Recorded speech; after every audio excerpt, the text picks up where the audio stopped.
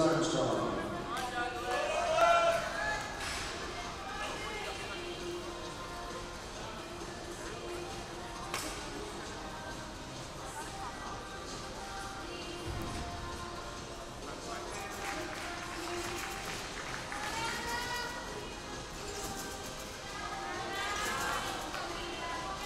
Up next, I'm going to from Calgary Gymnastics Center, Amanda Gokal.